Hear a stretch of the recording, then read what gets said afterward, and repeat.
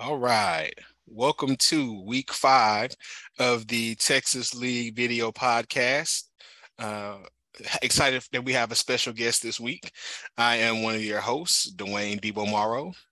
Uh, as always, we have our commissioner, Professor Cowan. We have Robert Deuce Caldwell here, and this week we have a special guest. Guest, please introduce yourself. Oh, Chris Kirkwood, DBT in the league. I think I've been in the league like six years now. I think so. No, it's got to be longer than that, Chris. Because I've been in the I've been in the I've been in the league like 13 years. you were already in the league when so uh, if you remember, we mentioned uh, in episode one that uh, the connector between most of the people in the league is our commissioner Cowan. Um, the four of us first met and interacted through our mutual love of NCAA football, which is an awesome football game that, due to a lot of legal issues, went away a few years ago. Um, but yeah, we had used to have a ongoing league where we would battle each other in dynasty mode uh, in NCAA football, and so all four of us plus our missing member, uh, Jamil Marcel Brown, it, we used to have a great little rivalry going on the league, and I know that we are all happy that that game's going to be coming back soon. So, shout out to EA Sports, and you know if you do need some beta testers, you've got a few of them willing and ready to participate um, in the future. All right, so as we like to do, let's start off talking about this previous week's uh, NFL games and some of their fantasy implications. And so, as we love to do, we definitely like to touch on the host's favorite teams. So, let's start with the Chargers versus Texans. Dr. Caldwell. Well, all in all, it, it turned out to be a good game because we got the W. That was the important thing. Um, I, I expected us to beat Houston, but for some reason, my Chargers have that ability to play down to their opponents and give them just a slim shred of hope to come back and try and win. We decided to counter and actually finish the game, so we actually got the W. It was kind of nice to see Ekeler get in the end zone a couple of times, not for fantasy purposes, but it's just nice to actually see him get his first touchdown of the season, or first two touchdowns, I should say. Um, Herbert's starting to look better, but you can still tell he's a little hobbled. I still think they should have held him out the week before last, but that's just my personal opinion, both as a fantasy person and as a Charger fan. I think Chase Daniels could have handled that dang against Jacksonville instead of getting it blown out like we did, but it is what it is. Um, all in all, I'm happy that we got that win. You know, we're in second place in the AFC West behind the Chiefs because they decided to take a stumble, one game back. All in all, I'm pretty happy. We had a good week. Indeed. I was you know, with Keenan Allen being out a second week in a row, uh, I was kind of surprised that uh, Mike Williams didn't produce um, like we kind of expected him to be by being the focal of the pa- point of the passing game potentially. Uh, but what I will say is, um, you know, when the running game was working and underneath passing game, the Ekeler was working, I'm not surprised that they stuck with what was going right. So he still got over 100 yards. He got his 120. So I mean, he still produced right on 11 catches. So, you know, it wasn't too bad, but I expected him to get a lot more deep catches. Yes.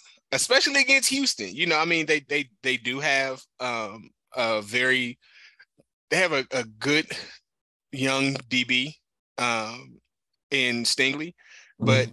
I didn't ex- even I don't know I didn't watch the game, so I don't know if he followed him the whole game. But even still, I would still give the veteran the edge over the the young DB.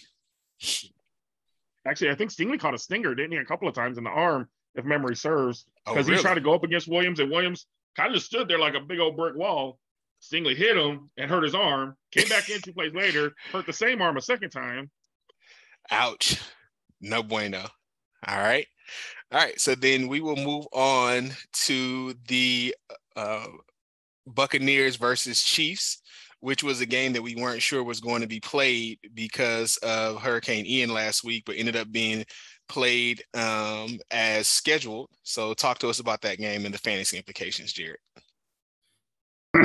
Uh, the Bucks fumbled the opening kickoff, and everything just went downhill from there.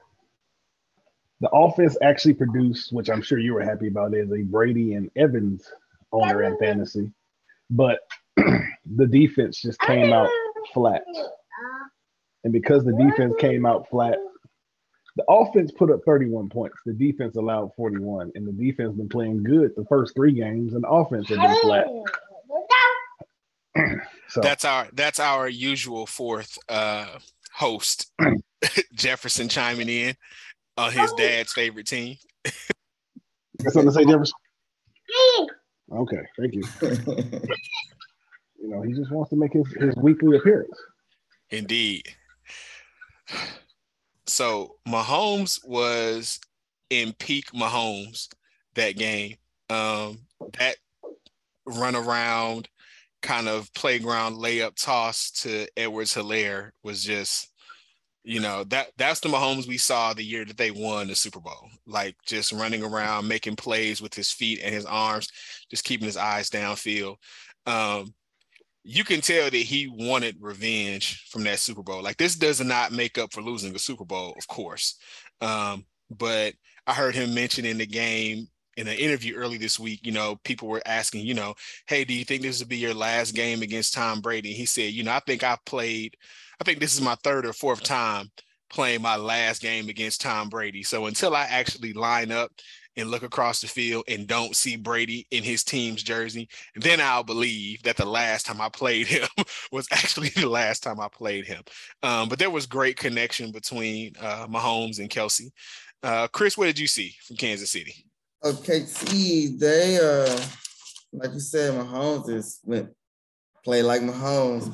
Also, I was saying that CEH had what 92 rushing yards TD and that one reception TD. So kind of had like a little breakout game, kind of sort of. And then, um, like you said, Kelsey was just Kelsey, man. He's just catching the ball, you know, 92 yards in the TD. I think he had nine receptions. So that team is going to be hard to beat when they play like this. Well, I certainly hope that they are definitely beatable on next Monday. Uh, all right, Chris. So now we will talk about our guest host favorite team, which is Steelers. So yes, please, yeah. please let's talk about this. I want to talk about this. So, so talk to us about what happened in that Steelers Jets games and, and, and the fantasy implications that you saw. Look, before we even get started, my, I told my father-in-law last week because he's a big Jets fan. They from New York. They from Brooklyn. I said Jets gonna beat us. He's like, ah, oh, nah, Pittsburgh gonna win. I'm like, nope, he not. And exactly what happened. Trubisky was being Trubisky. I think he was. I think he only had like 80 something passing yards, doing nothing. Uh, the offense is stale. Like we were not even trying to pass the ball down the field, which is hurting us. I know right now, a lot of my little Steelers page, everybody's ready to fire the OC real quick, Canada, because you can't throw the ball down the field at all. Like, so. But, but, but that can't be surprising that you're having trouble pushing the ball downfield it's not like you didn't know who Mitch Trubisky was when you signed him. yeah. Like, did, did, did they just forget to request game film from Chicago? I um, guess I don't know because I was the same way when we signed him. I was like, why are we signing this dude? And they ain't got like, WGN in Pittsburgh, clearly. I mean, what a, what about the Bears passing attack over the past three years? Told them, oh yeah, Trubisky's the one to come in and stretch the field. That that's what we've been missing in our ability to get the ball downfield. Mitchell Trubisky. I said the same thing. And then, you know, we went ahead and put the rookie in at uh, halftime, which he threw three picks, but one was a Hail Mary. The one that Claypool, I didn't really get to see the play. So they said he threw it up, and Claypool, I don't know what happened exactly on that play, but I know he got picked off. And then uh, the one he forced that one to Freiermuth. I don't know why he tried to throw it. He even came out in the interview and said I shouldn't have forced that one. But he I did know why he forced it to Freiermuth you should know this by now, Chris. what is a rookie or bad quarterback safety blanket? The tight, tight end. Your favorite player. I'm just saying, every it, the tight end is going to be the safety valve for a young or bad performing quarterback who can't throw the ball downfield. So, I mean, he looked up and was like, "F it, Freiermuth got to be somewhere over there," and yeah. try to throw it. And the off his hands. I'm like, all right. But he did have two rushing TDs, so it kind of, you know, he's moving without the ball, you know, running off. But I don't know. We'll see this next game. Right. I go that we got to. Chris, let me ask you something. Let me ask you something about your your defense. Oh, why they can only get one sack against Zach Wilson? Look, we only had three sacks since uh Watt been out. Watt went up. Yes, three, three. It's it. So is he on the return IR or is he on the season-ending IR? No, return IR. He got okay. a couple games left. Yeah, he'll be back, but still, like, come on, defense, you got to get a sack.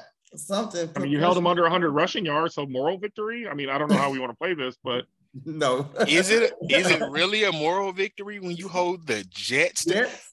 Real quick, without looking it up, who's the Jets starting running back? I'll wait. Who? Exactly. Who? I don't even know. Wait, somebody said it. Who? It's Breece Hall.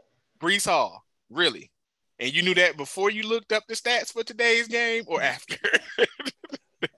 I knew that before because I watched him torture K State in college. He went to Iowa State. Fair enough. I'll give you that.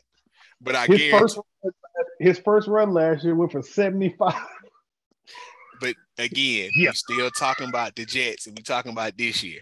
I will say this though.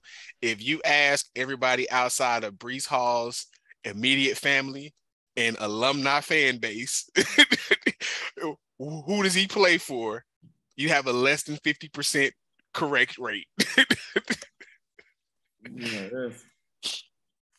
I don't know what to say about my Steelers. If we win seven games this year, I'm lucky. But, all right. So why couldn't they get the running game going? Najee is just I don't know what's up with Najee. I think he only had like let me see. Oh, he didn't have, he didn't have many didn't yards have at all. Maybe 50. At all. At all. I don't even remember. Oh yeah, because he I mean his stats on the year is not looking very good. He had 58 attempts, 202 rushing yards, one TD, like one TD. So I mean, you got a close game and you have a, a, a strong weapon in the backfield.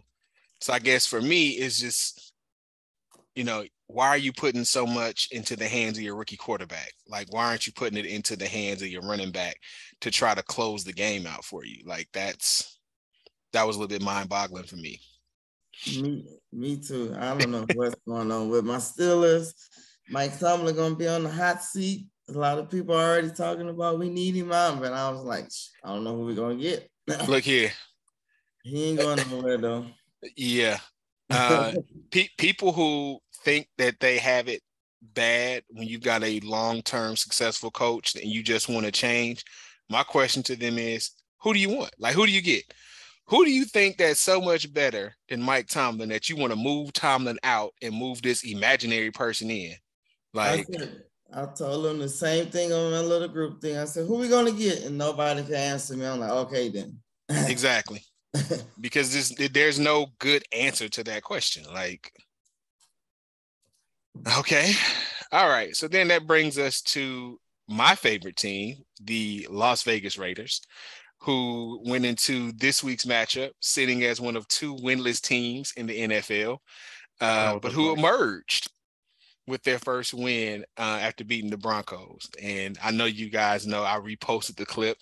I don't often make guarantees, but I guarantee to win against the Broncos, and they did deliver. Now, I might have been wrong on some of the fantasy implications. I really thought it was going to be uh, they were going to be beaten through the passing game, but Josh Jacobs had a career day. Um, you know, around 130 yards, two touchdowns, um, and you know he he closed out and he closed out the game. Um, Broncos scored in the fourth quarter to cut the lead to two. And we basically rode Jacobs all the way downfield to the end zone uh, to close that game out. And then the defense came out and forced a three and out to get us the W. Uh, so I know you like the Raiders shirt. If you like the Raiders hat, shout out to DiBiase Clothing for the the custom Raiders fit. Um, but fantasy wise, it was really good to see um, Davante have a good game. Uh, and I should have had this, but he had nine receptions, a little bit over uh, 100 yards. So very solid game. Um, there were a couple of throws that Carr made to him that were exactly what I was talking about. Um, there was a throw that he made. It was back shoulder. Um, the ball was already out before Davante was even finished with his route. But as soon as he turned his head around, he was able to locate the ball, make big reception. So I think that the trust factor is continuing to develop between the two of them. And I think it's just going to get stronger as the season goes on. On the other side of the field, uh, the Broncos running backs are a problem um, for them. Their run game had I can't remember if it was two or three total fumbles between both of the starting running backs. One fumble by Melvin Gordon ended up being returned for a touchdown, which was a big boost. Um, passing game looked good. Courtland Sutton had a very good, strong game. I think he ended up with 14 uh, total fantasy points. He had one really good deep reception. Um, but other than that, Russ had a solid game. Um, used his arms and his feet to produce, but again, he cooked just enough to not get the W. So I'm okay with that. Uh, well, see, the funny thing about Russ using his feet, he only got 29 rushing yards and he was their leading rusher. So when he's your leading rusher with under 30 yards, right. you're one dimensional as far as I'm concerned. Your offense is 100% one dimensional. And you got Butterfingers, popcorn eating Melvin Gordon. I mean, no. And, and you know, and, and so, you know, um, Williams, I'm not, I can't remember which quarter he got injured, but he got injured and Gordon actually was hurt that game. So he, after the fumble return for a touchdown, I think Gordon might have had one more carry. Um, but like we had Williams injured, Gordon out, the run game was done um, after that point. So it'd be really interesting to see what they look like. I think Melvin Gordon is scheduled to play this week. Williams is out though. So it'll be very interesting to see um, what their run game looks like. So they picked up Latavius Murray. Did they? So they must have contacted him on the plane coming back from London. because I know that the Saints moved him up from the practice squad, um, where he was able to score a touchdown in London for the Saints. Unfortunately, they weren't able to get the W. Um, so man, Broncos move fast. Picked up Murray. Very nice. He's a familiar player, former Raider. Did the good things for us back in the day. All right, so let's take a look at one thing I wanted to talk about NFL. And I talked about this in our group chat. Why won't coaches take the easy points? I do not understand why coaches continue to outsmart themselves. Because I think a lot of them are looking too much into analytics, even though I love analytics. Y'all know that I do, and I swear by analytics all the time. But I think they're so fixated on the analytics that they are forgetting the simplest part of the game. Get your points where you can get your points, because that might be the difference. Agreed. Uh, Jared, go ahead. Uh, well, Maybe Chris, you wanted to chime in? Jared back. Yeah, I don't know why they don't take the points. I would have took more points. You never know you're gonna get that chance again, and then that field goal could be the difference of the game right there. In, in case anyone isn't clear about which game in particular we're talking about, because there was a couple of them. Um, so Panthers Cardinals, as before we get to the main example this past week, Panthers Cardinals first quarter. Panthers went forward in the first quarter on fourth and one from their own 39 yard line. Didn't get it. Cardinals got the ball.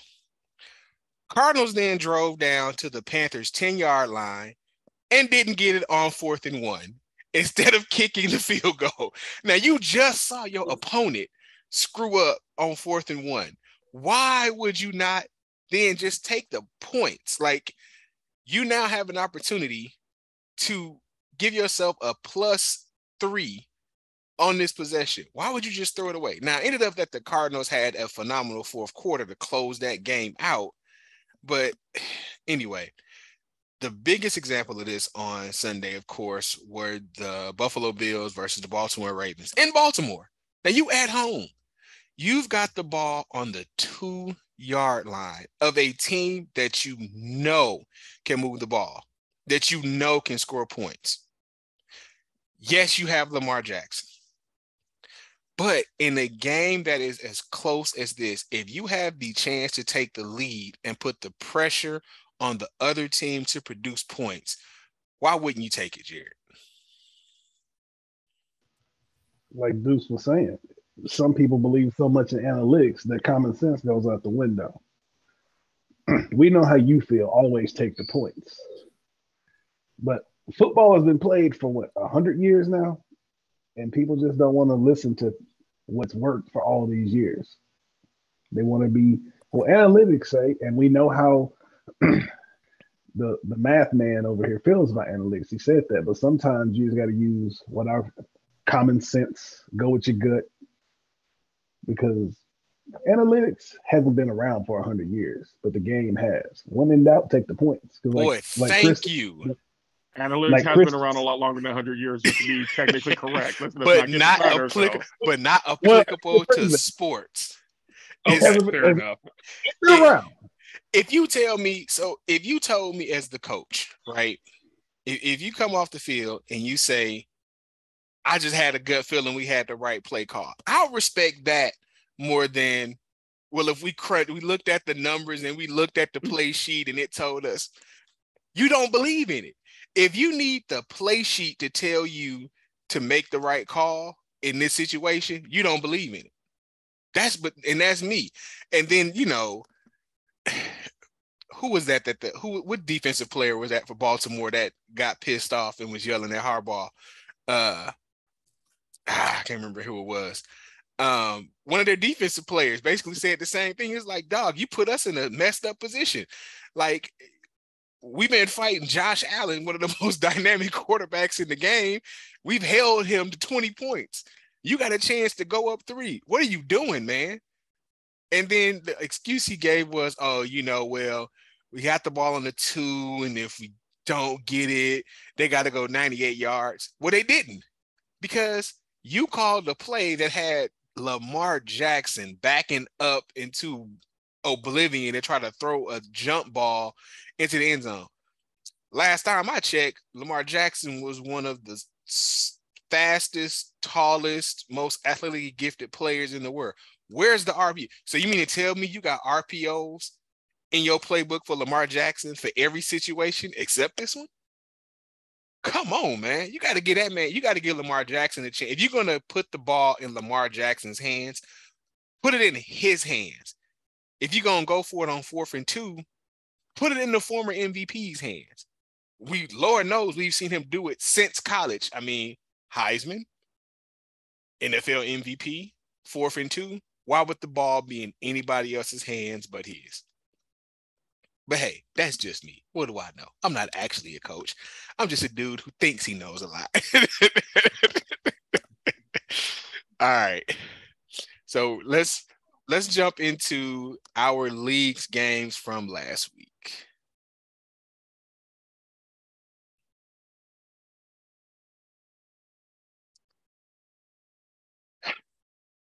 All right. So, as we mentioned, uh, week four was going to be a tough week for both uh, Deuce and I, as we were the last two teams that were without wins going into week four. So we'll let Deuce talk very briefly about his game and its results. Well, there wasn't a whole lot I could do in my game. You know, I thought Carr was actually going to do more than he did, kind of like how Dwayne thought at the same time. And not right now? Sorry, my daughter was trying to jump in. Um, I lost my train of thought. Yeah, I'm sorry. I'm looking at my thing. Okay, so yeah, Carr only having what 188 yards, I think. Um, I honestly projected him to have like 330. I expected to have a couple more passing touchdowns, so he, I didn't get a lot of points there. And Williams got me some points, but honestly, everyone else didn't do a whole lot. That's why I'm sitting here at like I don't know 79, but I couldn't even break 80. Uh, it was over for me quick. Unfortunately, I lost the lead Thursday because I didn't have anybody playing, and I never got it. Mm. So just 0 and 4. That, but you know what? Is, that's okay. That's a tough. That's that's a tough place to be, my brother. Um, but unfortunately, you were not alone in your loss this week. Kirkwood versus Armed Rodgery. Talk to us about your game. Well, my quarterback only had 16. He normally averaged 20 something, but you know, it was like a monsoon out there with all the rain. So hey, I only could do so he only could do so much. My boy Deontay had, I think, three points total. And then Curtis Samuel didn't do much either.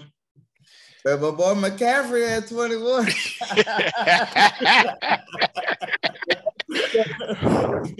that he oh. did. That he did. he ain't really been doing that all season, but this game he had 21.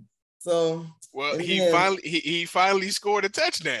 Yeah, it was it was a receiving touchdown, but he scored. Yeah, most of his yards were all receiving. He only had like 27 rushing yards. Yep. Which is I don't know what uh, anyway, yeah, go ahead. Yeah, I don't know what to say about him either.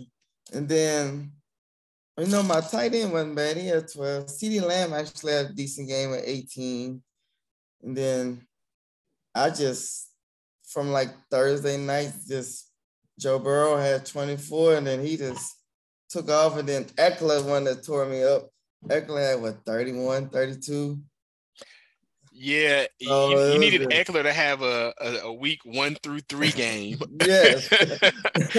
for you to have a chance to get that one right. Yep, Ekeler tore me up, and then you know Kelsey gonna do what he do. So that was and, and he did. Even if I put in my ultimate lineup, someone not playing. Yeah, and he had somebody not playing.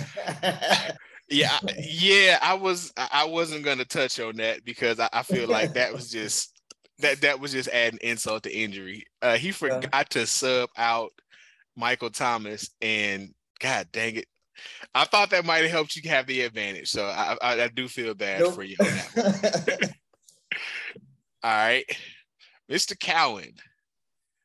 You, on the other hand, were able to get the W.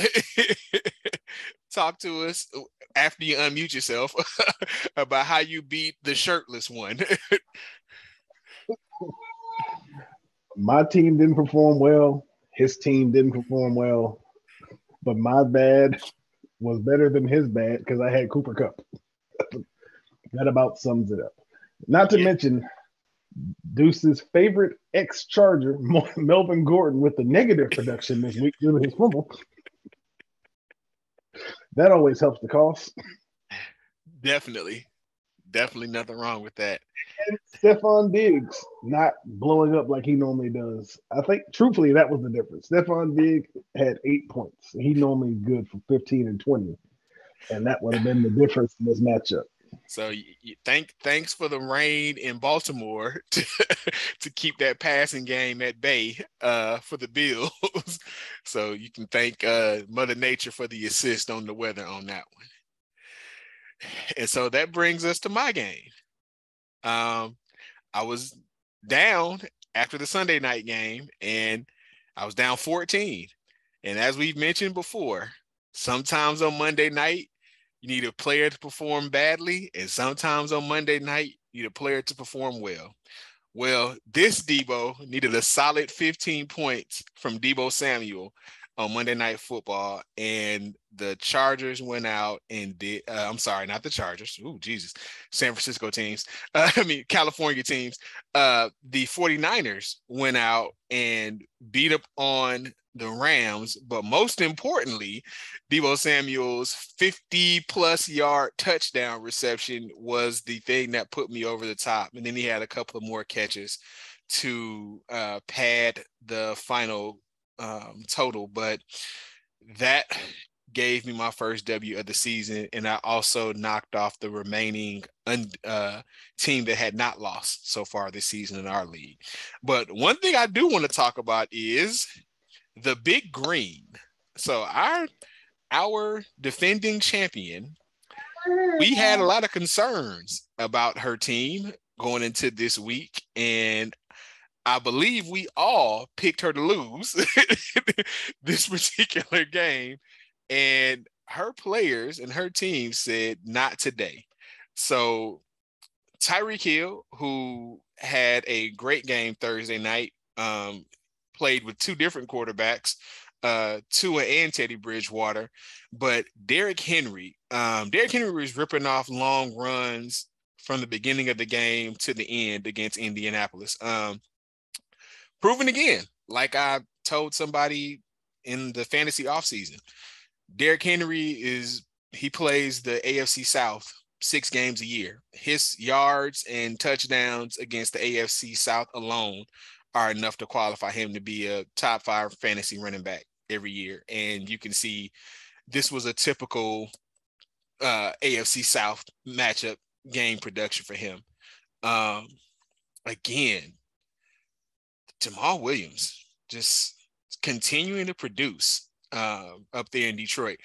Interesting about Detroit that I saw after Sunday's unfortunate loss for them, where they put up 45 points. They lead the league in scoring at 35 points a game. They also lead the league in points given up at 35.3 points a game, Percy. So that unfortunately is why they are one in three on the season up in Detroit. Um, Hockenson, uh, 35 points. Now, as a person that's been a Hockenson fantasy owner in the past, I can say he's good for one or two of these a season. And he absolutely went off. In a game where they had to throw a lot, he found himself himself open over and over again um, against that Seattle defense. And I know Pete Carroll couldn't have been happy about that. Um, but so we want to give a shout out and salute uh, to the Big Green for coming up big in their matchup last week and getting the high points for the week. Not only the high points, but again, we got a we got a trifecta. High points, the W, and the biggest blowout of the week for the team. All right. So that was last week's pick. So now, where do we look in the standings after last week's picks? Because you know we got to check that out.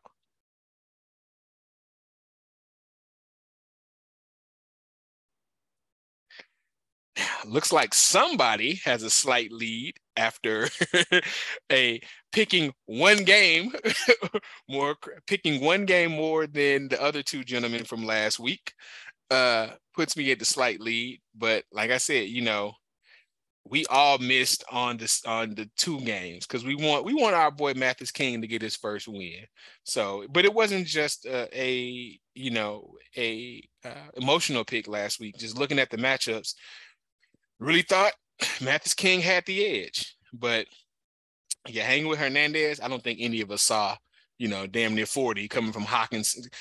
Basically, you got 70 points from the Detroit Lions. Like, who knew? Wouldn't have guessed that. All right. All right, so that takes us into this week's games.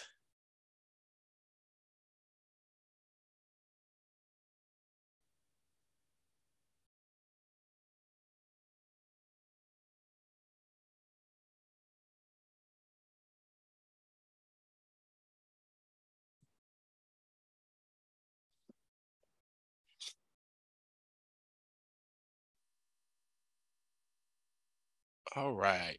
So one of the things we want to talk about this week going into the fantasy matchups, we always want to talk about how injuries may affect the games of the week.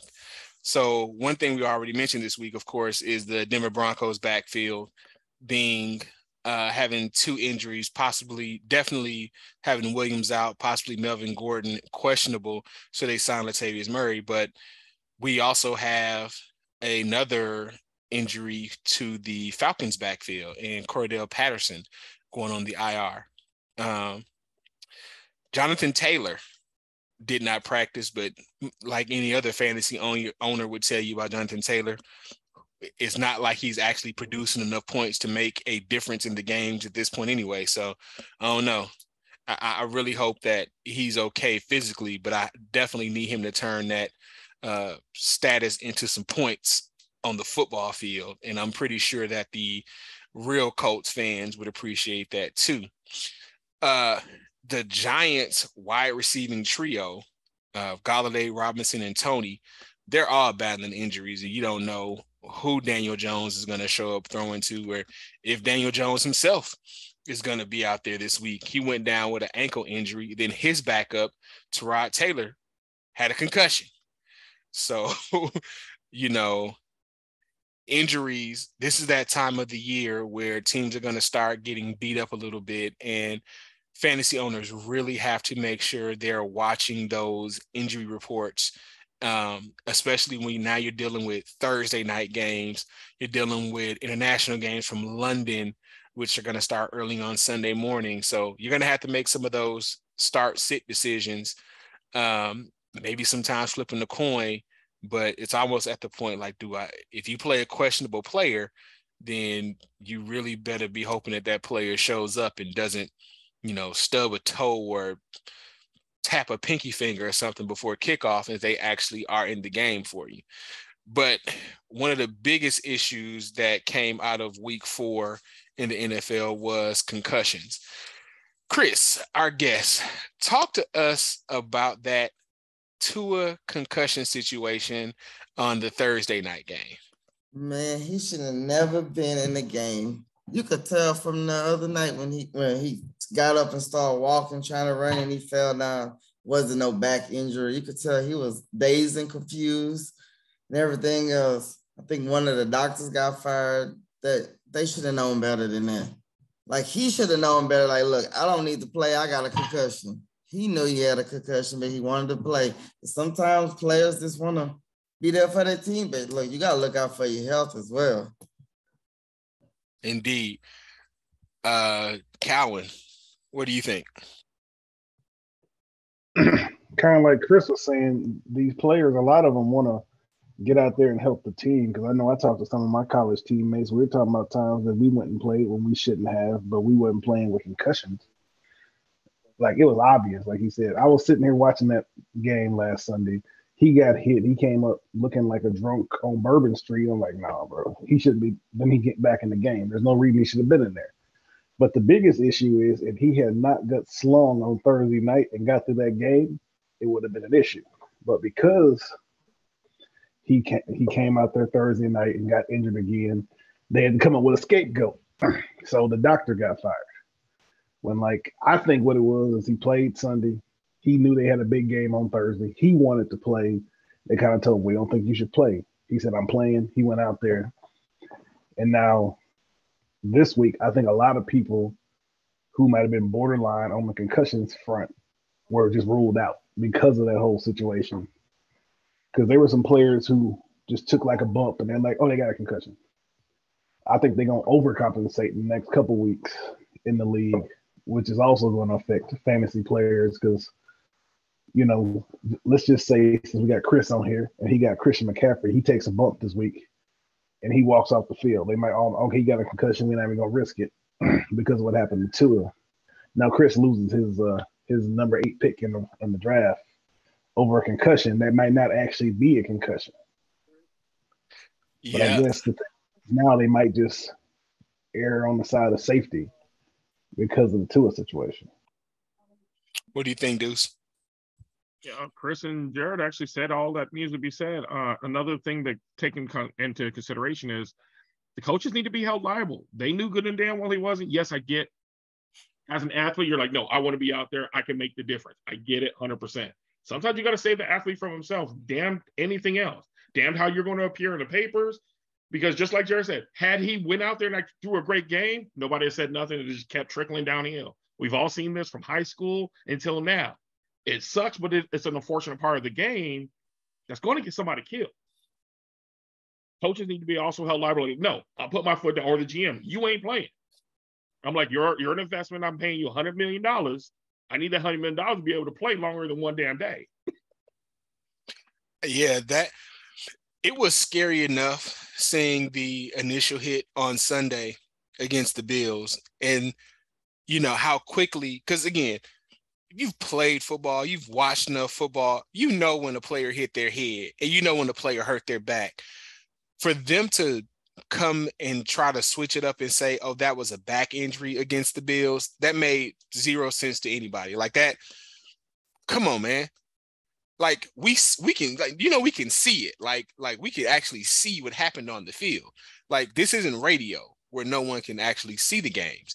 We saw it. And then on thursday night when he hit the ground and his hands curled up like that like that was a scary moment. Because i actually thought his hands curled up so much i was like well did his hand hit the ground? I thought maybe his hand hit the ground and he had broken a finger, and that's why his hand was curled up. But when they showed the wide shot replay, and you realize, oh, he got slammed on his head, and that was a involuntary reaction from his body. And yeah, I the Dolphins coach is talking about, oh, he was on the plane and he was laughing and joking and watching TV anyone who's had a concussion would tell you watching TV is one of the worst things you can do. So you talking about how much you want to protect your player and you the coach, what you doing watching? What you doing letting one who watch TV on the plane? I thought you're trying to protect his health. So they've they smartly went ahead and ruled him out for week five because there's no way that they would have been able to. I don't no matter what protocols he's actually passing in practice or actually passing this week, there is no way that they were going to be able to send him out there this week and not reap the outrage of every single football fan, every coach, every group that wants to basically ban football. Because there are parent groups that want to ban football in little leagues, high schools, whatever they were going to point that to say, see, they don't play, they don't care about the people that play this game. They don't care about safety. And so I do think that there's going to be an overreaction, an overcorrection for a couple of weeks. Um, they already announced between the NFLPA and the NFL that there are going to be some changes to the protocols, but of course they fired the doctor. He was the scapegoat. Um, not a good week for uh, NFL doctors or NFL affiliates. Uh, I know we mentioned that Tyrod Taylor, who's also in the concussion protocol after going in the game on Sunday for the Giants, he actually recently filed a lawsuit against the San Diego Chargers uh, team doctor. I don't know if he's still the team doctor or if he's the former team doctor. Deuce, is he current or former? He's former. No, he's former. So he's because uh, the Justin Herbert uh, career starting moment was Tyrod Taylor was getting a pre-game pain injection and the doctor punctured his lung before the game with the needle. and so everyone was confused because, you know, pre-game, you have Tyrod Taylor warming up, getting everything started. Then at kickoff, after kickoff, Justin Herbert jogs in the field. So everyone's like, what the heck is going on? Anyway, though. So yeah, so 15 or 16 players right now um, are currently in the concussion protocols according to the NFL injury report. Um, some of them were coming off a concussion, uh, like wide receiver Hunter Renfrow, who had a concussion um, in week two, but who was held out of week three. I think if things wouldn't have happened the way they did on Thursday night, he would have played on Sunday. But because of what happened, they kept him out for week four too. So um, we'll see. I think the NFL is going to overcorrect for a couple of weeks. Now, I saw one article that was just ridiculous that said Tua should retire. That's just a bridge too far. So, but uh, I, I do hope that they take that man's injury seriously, along with all the rest of these players, and we continue to see uh, an emphasis put on player safety. All right, let's get into this week's picks. Let's start with Armed Rodgery versus Big Green. Chris, you're our guest. We'll let you tell us which team you like, what you like about both teams, and then you can make your pick. Well, um, let's see. I see Ekeler got to match up against Cleveland. Cleveland ain't defense been okay. Now I like that pretty good matchup. Kelce, uh, I guess your Vegas team gonna be a tough one. But I like uh, Kelce over there. The then on the other side, let me see. I don't know. what Tyreek Hill's gonna be able to do without a quarterback. We'll see. Oh, you didn't see Tyreek's quote? Yeah. A reporter asked Tyreek Hill, uh, "How do you, do you think you're going to be able to produce with Teddy Bridgewater at quarterback?" And his response was, "I'll produce with you at quarterback." oh, shit, Tyreek said he don't care who's the quarterback; he's going to score. He's going to put a. He's going to produce. Yeah. Then I see Henry got that matchup against Washington. He should be able to run on them. Uh, Williams, if he has another game like that, man, and they play New England, you can see Detroit been putting up numbers. I'm kind of going with um what's the name? What's the team name again? Oh Lord. do you like? Do you like big, big, Green or yeah, Big Green? I'm going with Bears again, the Big Green. All right, so you're going with Big Green. Who do you like, Cowan? You know, after a 150 point performance, you know, it's kind of hard to to go against this team. But uh, last week, this team was not carried by their quarterback, who's just a placeholder. I don't believe Hockenson, like you said earlier, he has like one or two good weeks. I don't think this is one of them good weeks. I don't see another 35 point performance. And I will say that the New England defense has not been as good as they have been in the past. Very true. so I don't. I see. I still putting up some points, but I don't see them producing like they did last week against Seattle. So I'm gonna have to go with. uh I'm gonna have to go with Arm Rodri in this one. I don't know. That the New England defense was able to force overtime against the Packers. I mean, they lost, but they still forced overtime. But okay, so you're going with Arm Rodri. Who do you think, Deuce? Uh, you know, I went back and forth on this several times. I agree with everything Jared actually is saying. I'm curious to see what Henry does against Washington. I think Henry's going to actually have a really good game against Washington. And I think Tyreek is going to produce against the Jets. He's going to show Pittsburgh what they should have done against the Jets. Um, I see Lazard doing something good against the Giants secondary as well.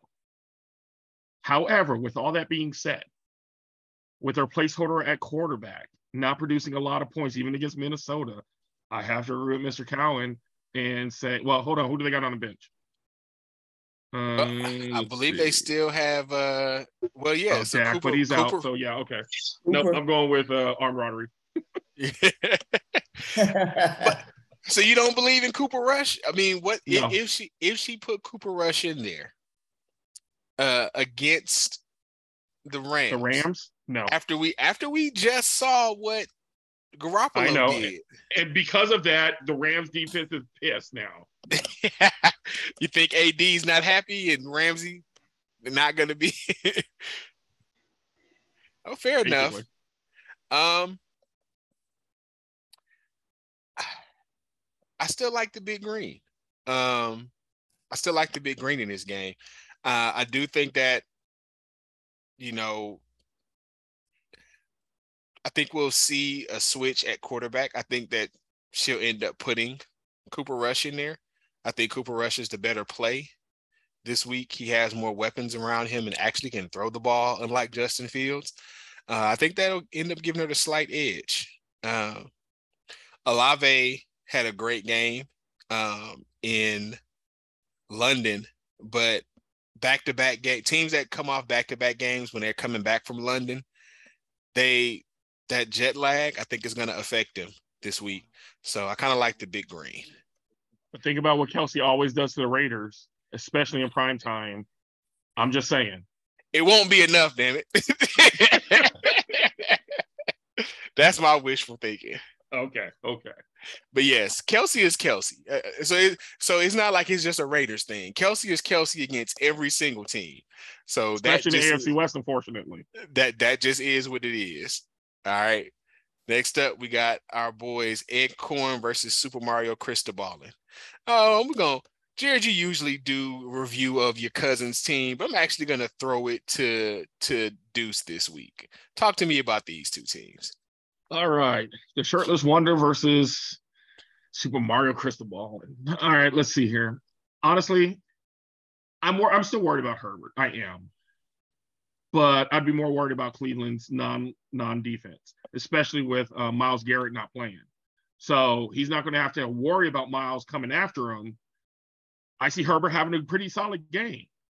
I see Nick Chubb having, unfortunately, a solid game because we don't like to stop anybody from running. We think you can just go and run all over us. We'll just try to outthrow you and hopefully outscore you. Um, Nick Chubb's going to get his points. Waller is going to get his points because uh, Carr's going to need someone to throw it to when he's getting harassed all the damn time. So he has his little tight end safety blanket. San Francisco's defense is a joke, so I don't even know why the hell they're even on here. But I don't. I because don't it's Carolina and Baker Mayfield. That's you know why. what? Well played. You know what? Fair point. One hundred percent fair point. Um, now, when I look at Mr. Acorn over here, he got Mr. Fumbleitis So, Man, I, Waddle's the best thing. Waddle and Rogers is the best thing on his roster. Let's, Actually, let's- Diggs is playing against Pittsburgh. Now that I just see that, Diggs is going to actually. They're going to throw the ball back to Diggs a little bit more. Um, let, let's assume that Gordon can't play on Thursday night, which I think is a good a assumption. great assumption. Who does he have in his flex? Uh, let's see. Who does he have in his flex? He's got He has Waddle, in Waddle in his flex. flex. Okay, Yes. so if Gordon doesn't play, he has. He actually needs a running back. He really does. So he's got He got running. Well, you know what? backs, Just Mostert, he can put in Mostert and be okay. yeah. I mean, it's got to be better than the negative points from Gordon. Right, exactly. but all that being said, all that being said, I got Super Mario Crystal Ball winning, and it's not going to be small. All right, Jared, who you like? Uh, you know, I I just refuse to to go with the shirtless wonder with Gordon in his line. The man who just got negative points. Can we really Kyle, Kyle Pitts, who they got blocking? Why why do you have the first round pick blocking? That's not what he does. Let me see. What did Pitts do last week? Yeah, they still not doing anything. I mean, good grief. Three points from Kyle. Pitts. that that's just disappointing. That's just not good. So who you rolling with? Uh, I'm gonna have to go with. I'm gonna, in the battle of the uh the the under six footers. I'm going with Super Mario Cristobal. Chris, who do you like? I'm going Super Mario too, man. It's just I don't see Diggs about the only gets my Steelers. He'll have a good game. Like you said, Pitts is doing nothing. And then I think it's gonna be a blowout. Super Mario. Uh yeah, I'm also gonna go Super Mario. Um, I think that wide receiving trio is great. Um, even with good production from Chase last week, I don't know if Cincinnati's clicking along far enough. Balt, speaking of people, defenses that are going to be pissed off this week, Baltimore's defense is going to come out pissed off after losing that close game last week. Um, and they're going to want to redeem themselves in prime time. Um, so I also am going to roll with Super Mario on this one. Uh, yeah. All right. So next up, we have Company Man versus DBT Kirkwood. Jared, talk to us about this matchup.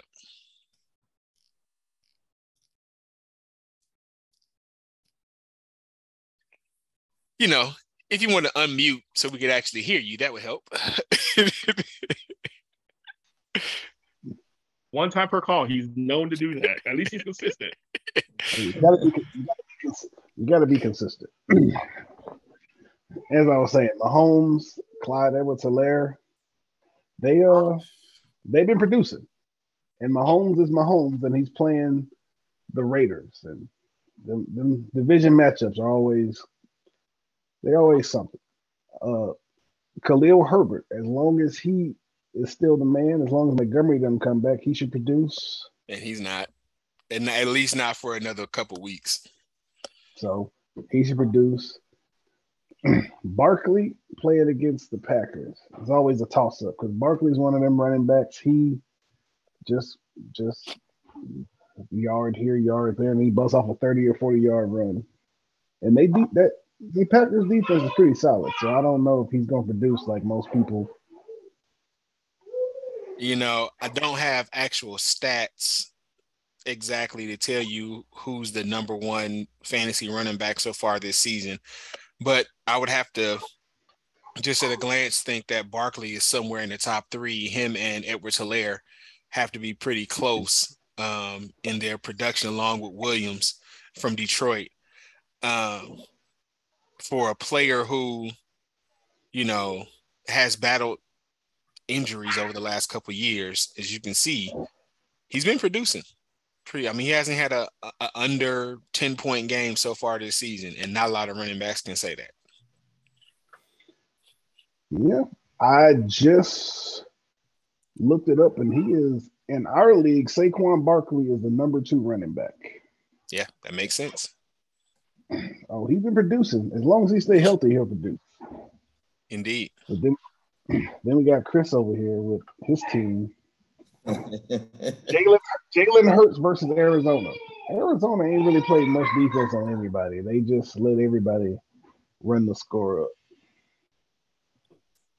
Curtis Samuel and Johnson. I don't like really well. Tennessee's defense is just average. Yeah, I don't really see them just being no, no shutdown defense, but I don't see him just letting Washington go buck wild because they got Carson Wentz at quarterback. Rhamondre Stevenson might be the key for Chris's team because, as you said earlier, Detroit don't stop nobody. The way that the way that uh, Rams defense was looking last night, CeeDee Lamb might have a good game, but then again, Ramsey might decide he's gonna try to lock up CeeDee Lamb to prove that he's still who he said he is. Yeah, but can he wanting to do something versus actually being able to do it? Eh. is Jalen that guy? that's what that's what they say. they say or he say because they say previous years he was that guy. He don't look like the, that guy this year. Like Lauryn Hill told us, sometimes it all falls down. all right, who you picking for this game? Uh, I'm I'm gonna have to take company man. I think he's trying to get he, he was undefeated. You took his you you said his O must go, so now he's trying to get back on the winning track. I'm gonna go man. This um, I agree. I'm also going to pick Company Man. Uh, based on the fact that Amari Cooper only has good games at home, and he's at home versus the Chargers this week. So uh, we gonna let him catch the ball. We gonna let him catch the ball. so yeah, um, yeah, I, I, see a good game coming from uh, Cooper, uh, and of course, again, Patrick Mahomes again, I don't feel bad about saying that Mahomes is going to score against the Raiders because he does it to everybody. So I mean, that's it's not a stretch to say that Mahomes is going to do what Mahomes does because he's that guy. He actually is that guy. Um, so yeah, I'm gonna go with company man. And Chris, you have an opportunity to pick against yourself. I'm not gonna do it. Even though I have a feeling I'm gonna lose, but I'm not gonna pick against myself. hey, picking yeah. against myself one week is why I have the lead in correct picks this season. There's no pride here. yeah, but like you said, man, he got Pat Mahomes. Then Barkley just he's been tearing up. Yeah. I don't see myself winning. but are you actually going to pick against yourself? Yes, I'm going to pick against myself. Fair enough. All right, you picking company Deuce. man, Chris. Chris, picking, Chris is picking company man. yep, picking company man. you know what? We are all 100% on board with company man. I'm, I'm, sorry, Chris. I love you like a little brother. I never wanted, but I can't say you're gonna win, bro. Yeah, that's gonna be that's a tough one. All right. So my matchup, uh, after playing company man in back-to-back weeks, I get muff divers. So let's go with Chris. Break this one down for us. Let's see. Lamar Jackson's gonna come out. He's gonna do what he do. Jefferson's gonna do what he gonna do. Penny actually had a pretty good game, but I don't know if he could do it back to back. Um, um, then on the other side, Brady against Atlanta. I see Brady tearing Atlanta up again. Mike Evans, yeah. Mike Mike came back, had two CDs. So Mike Sutton had a pretty good game, and Indy hasn't been playing that good lately. Only thing is, is Taylor, man. That's kind of a he's not been that guy that we thought he was going to be. You got Ingram. Then you got Smith for Philly. I think Philly have a good game. Smith to get some catches. So I'm going to go with Debo on this one. I appreciate that, good sir. I'm just gonna go with you. Muff Divers look good, but I'm gonna go. Did she get another win? I appreciate that, Doctor Deuce. You know, as much as I'd love to agree with Chris, I can't today. Uh, for, I, but I agree that Taylor's a question mark. Now, normal last year, Taylor made just about everybody look stupid. Now the Colts didn't might not have been so hot, but Taylor was hot. Mm-hmm. I don't know what's going on right now in Indianapolis, but Taylor has the potential to go off against Denver, and I would love to see it. And I don't agree that Tom Brady is going to annihilate Atlanta. He's had issues with Atlanta, um, and he's a little older than he used to be. He's about our age, Debo. So I mean, we ain't out there slinging the rock because we know better. We ain't out there getting divorced from our wife because we know better. You know, we we trying to do our thing, but you know, I'm curious to see what Jefferson's going to do. Going to the other side, Jackson's going to run through Cincinnati. I ain't even worried about that. He gonna get some points. Penny, I think, is gonna get points running through New Orleans. But to me, the biggest question mark is going to be Taylor and Jefferson. Whoever scores the most points wins this game. Out of those two, whoever scores the most points out of those two wins the game. Personally, I give the edge to Muff Dive. Fair enough. Mr. Cowan. I'm gonna have to agree with uh, Mr. Caldwell. I'm like the matchup to look at is Jefferson versus Taylor, and Taylor gets Chicago. Chicago's defense is not good. They made the Houston Texans look like a credible football team. So I'm, I'm, a, I'm a, they say I'm gonna beat a dead horse. I trust no nothing from Chicago. I don't. So I think Jefferson. I think this is the game. Him and Cousins get it together, score a few touchdowns. I don't trust Taylor because he's questionable going into a game on a short week with a bad ankle. I, I get that. Fair enough. Uh, Justin Jefferson. Um, you know, other world talent. He's either really good or really bad.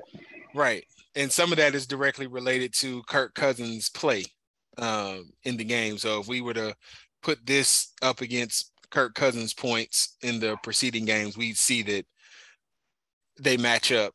Um, I am going to pick myself. Um, I think that if there was ever a team that you would if one of the teams that you want to play against if you're a running back right now at this point in the season is Denver. Um, their defensive front four is not very good, and you just saw what Josh Jacobs did uh, to them on Sunday. Uh, the Colts definitely have one of the better offensive lines in football, so it's kind of head scratching about why uh, Jonathan Taylor hasn't gotten it rolling. But I think that he's going to be motivated on the short week. Um, if he plays, he's going to score. And I think Jonathan Taylor, because that's really been Jonathan Taylor and Tom Brady have been my sore points in the games that I've lost this season. Uh, Brady had a Brady esque game last week. Um, and I think that that loss to the Chiefs is going to fire him up and he's going to come out throwing and I hope he keeps throwing to Evans often. so I think I, I, like myself in this matchup versus Muff Divers to get my second win of the season. All right. Derek, that's two picks. We have our chance to catch up and tie him for getting it wrong. So All right. Next pick Stairway to Evans versus Hanging with Hernandez. Now, on paper, this looks to be a blowout for a Stairway to Evans. Um, Geno Smith, I think people are, I think that the fantasy projectors are still down on Geno Smith when Geno Smith has actually been producing pretty good this season, not only uh, with his arm, with his feet. Like he's this game was just a bad game all around for the Seahawks as a team. But I mean, 320 and two touchdowns, and I believe he had another one on the ground on Sunday. That's nothing to sneeze at. You know, Seattle is letting Geno cook since that other chef they had went to Denver and started cooking with CBD products. it's legal there, so that makes sense. exactly. Um, I think that uh, Hollywood Brown is going to continue to be himself. Um, if Kyler Murray can actually see down the field, throw it up and say, screw it, Hollywood's down there somewhere. Um, so Philly's defense is going to want to get into the pocket and flush Kyler early and often, but I don't know if they're going to be successful. Um, they've had some game. They're still undefeated at this point, but they're getting scored on. Like that defense will give up points. Um, looking at the other side, Kirk Cousins versus Chicago. Again, if you're talking about a team that you want to see right now, if you're trying to come, if you're trying to put up some points, Chicago is one of those teams uh, the Cowboys defense. Now, this I think is going to be the first game where we see Cooper Kupp be human. Um, so far this season, again, lowest game so far this season being 14 points, like on pace to break his record that he set last year for most points in a fantasy season by a wide receiver. Uh, AJ Dillon kind of a head scratcher because you know the Packers have that, you know, they kind of share the load in the backfield between Dillon and Jones, and right now Jones has been getting the lion's share of the the points. Like he's getting plenty of touches, he's just not getting the end zone. And when you have a shared backfield, that goal line touch or that goal line target is generally the difference between the two. Um, that being said, I'm definitely going to roll with Stairway to Evans in this particular matchup. I think that he has more favorable uh, games for his players coming to this week. Um, even though I need Brady to throw touchdowns, I don't see Fournette being neutralized like he was last week against um, the Chiefs. Like the Tampa Bay fell behind, they just had to throw pretty much the rest of the game. So Fournette was never really able to get rolling like you usually would see him do. But I can definitely see him scoring, um, at least getting a touchdown and getting at least to 10 points this week. So I like Stairway. Jared, are you picking against yourself this week? Why would I do that? I, I, I you know, I've decided if I look at a matchup and say, you know what, I don't think this one's in my favor, but I think this one's in my favor because, yeah, I just the matchups look promising, and as long as the people produce, then I think I can I can win this matchup. I'm okay. still trying to figure out. I'm just still trying to figure out when I'm gonna get a running back. I almost had one, but thanks to the Texans, they messed it. I you know, I was I was literally gonna send a trade offer for Ekeler. I'm like, he been producing low. Let me see if I can I can buy low. nope. Then he played the Texans, and they're like, before I can send this trade offer, I'm like, mm. cold blooded. I heard you like Deuce Caldwell. Uh, Stairway Evans. Just because, uh, to your point, he has a better favorable matchups just hands down. And I, I don't know, I don't care what anyone says. I'm not sold on Geno Smith. Nothing's going to sell me on Geno Smith. Sorry. yes, he might be doing well, but he's playing for Seattle. So no, no, can't do it. Well, if his receivers can manage to stay in the game and not have to get carted off to the bathroom, hopefully, you know, he'll be able to keep the players on the field that he gets to throw to. Who do you like in this particular matchup, Chris? Same Stairway to Evans. You look at it, I see just the matchups. I see Andrews catching a couple TDs this week. And then I, I don't see uh, Tampa Bay with only having three rushing yards this week. They had three rushing yards total as a team. I don't see that again.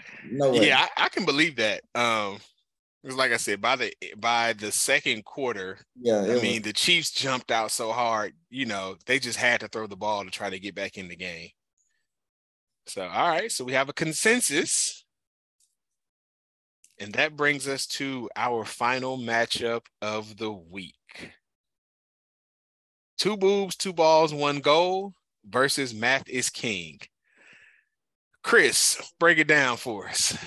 All righty. I see Mike Williams having a pretty good game against that Cleveland defense.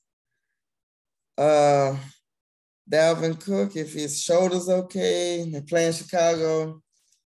I see a pretty good matchup favor there.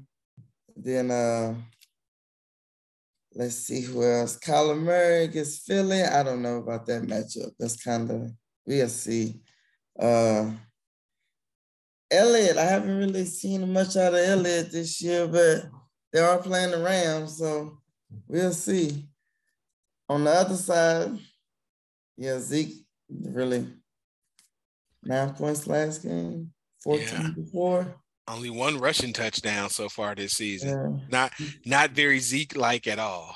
No, know, sharing that rock with Pollard, so He's averaging like 55 yards a game. Cut the brother some slack. He's not bad, but he ain't. You- Zeke that we You need to. Zeke to score it. You need Zeke to score a touchdown. I know, I know.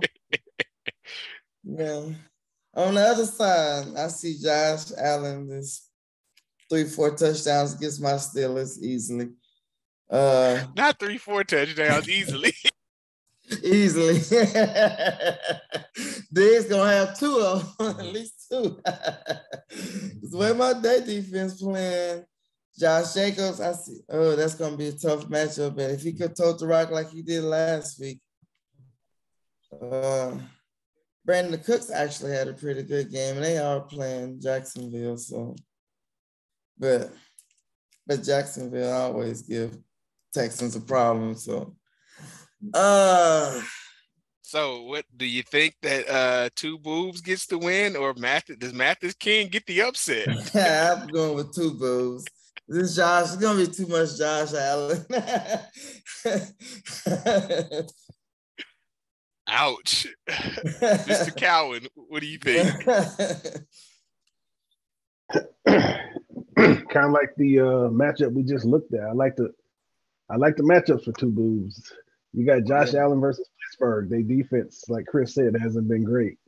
You got a, you got AJ Brown against Arizona. Arizona's defense has not been good. They just did enough to got- win the game. They have a no-name secondary. They really do. I don't know. like the old Nebraska, like the old Nebraska defenses. They have a no-name secondary. You got you got Adam Thielen versus Chicago. I, I, I believe this is the week that Kirk Cousins gets his act together. Because if he don't, he he gonna be benched on my team. But that's a whole nother story. I don't particularly think Jacobs is gonna do much this week. I think kind of like the Bucks, the team gonna get behind and they're gonna have to pass it. It's gonna be it's gonna be shootout esque, and I don't think Jacobs is gonna be there to grind it out like he was last week. But I think he'll I think he'll be decent. Mixon versus uh, Baltimore.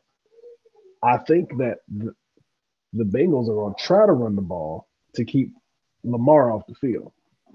He can't better. be he can't be the fantastic player he is from the sideline. Brandin Cooks is like the only option here in Houston. Him and his rookie running back who's come on lately.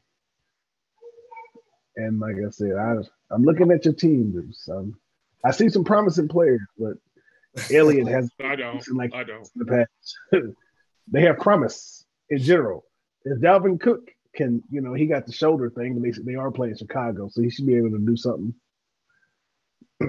but I, I don't see you getting that. I don't see you getting that W this week, sir. I got to go with two boobs this week, sir. as much as I would love to pick Mathis King for his first W this week, I don't think it's going to come with this matchup. I think um, Zeke Elliott's going to be facing the pissed off Rams uh, defense. Um, yeah, I, I, George Kittle actually has a chance to have a decent game. Um, Carolina's defense is porous, um, as we saw last week against Arizona. So, but even then, like unless he has a Hockenson like game from this week, like I, I just I just don't see enough in the matchups to get you the W this week. And I, and I, I hope I say this, although I am picking two boobs, two balls to win, I still hope that I'm wrong and that you do get the victory. But I'm, I am officially picking against you, my friend. What do you think, Mr. Caldwell? so, you know, I'm going to sum this up with something that we said earlier. St- analytics don't always tell the whole story. now, on paper, on paper, and in the program that I wrote, I'm going to lose by about 40 points. And that's okay because these things happen, unfortunately, to me this year a lot. But my heart won't let me pick against my damn team. So I'm picking Mathis King to win this week. In the story. I don't even need to say nothing else. fair enough. Fair enough. Well, there it is. All the picks are in. Um, there's going to be a lot of good football uh, this weekend. Uh, Thursday night, we've got the Broncos and Colts, um, both teams. So even though the Broncos have two wins, uh, as we said ourselves, one of those wins didn't count. That 11 to 9 win, that don't count. It might count on the standings, but it don't count in nobody's heart. so basically, they're both one-win teams going into this Thursday night matchup. Both of them coming off of losses on uh, on Sunday. So we'll see what that looks like. I believe we have a London game this week, if I'm not mistaken. We do. And that's the uh the Packers game, right? I heard this. I think it is. Okay, so yeah, the the Packers game is also coming to us from London. So watch yeah, out Packers for that. Versus New York. Yep, Packers and Giants. Oh, that and both of those have uh, fan bases that travel well. So I'm suspecting that we're going to see a lot of uh, blue and green and gold in those stands. And of course, I mean, to go to a London game. I'm going, hands down. I'm going. Hey, it's a great experience, an international game. So I've gone to games in Mexico. Um, and I have friends that have gone to games in London. The international football fans are amazing. And they're not even always team fans of the teams that are playing. They're just football fans. So they show up. Mm-hmm. Um, and they will wear whatever jersey of whatever team that they love to the game, guaranteed. Um, then, of course, Monday Night Football game this week. Uh, Raiders get the Red Hot Chiefs. We got to travel into enemy turf for our uh, for a back to back division game. So hoping the Raiders come away with the win. Uh, fired up. No one asked you. no, no one asked you. Listen, you just worry about the Chargers. but uh, yeah, remind me, who do the Chargers have this week? The Browns. See, I can't even talk smack because I mean, I sure wish they had a better opponent so I could actually talk a little smack. But the Browns without Myles Garrett, so I feel pretty comfortable. Right? Yeah, you, you, should, you should. But again, as you just pointed out, miracles happen. So true, true. and then we, of course, we have the Bucks versus Atlanta, and I'm hoping for a huge Bucks victory. with a lot of touchdown passes from Tom Terrific to Mike Evans. Mike Evans and Tom almost had a third touchdown. Uh, I didn't need it at the end, but I sure would have liked them to have that third touchdown connection. Uh, so I could have got the win on Sunday and not have to worry about it on Monday. And uh, Chris, who do the Steelers have this week? Buffalo Bills. oh yeah. Yeah. Yeah. So Buffalo. So good luck. To, so you hey, with a rookie starting going to Buffalo with the rookie quarterback. Yeah, good luck with that. Nobody. yeah, good luck with that. But uh, again, thanks for watching. Uh, we will be back next week to see how everyone's how everyone's pick was, and uh, as always, Best of luck to you and your fantasy teams this week.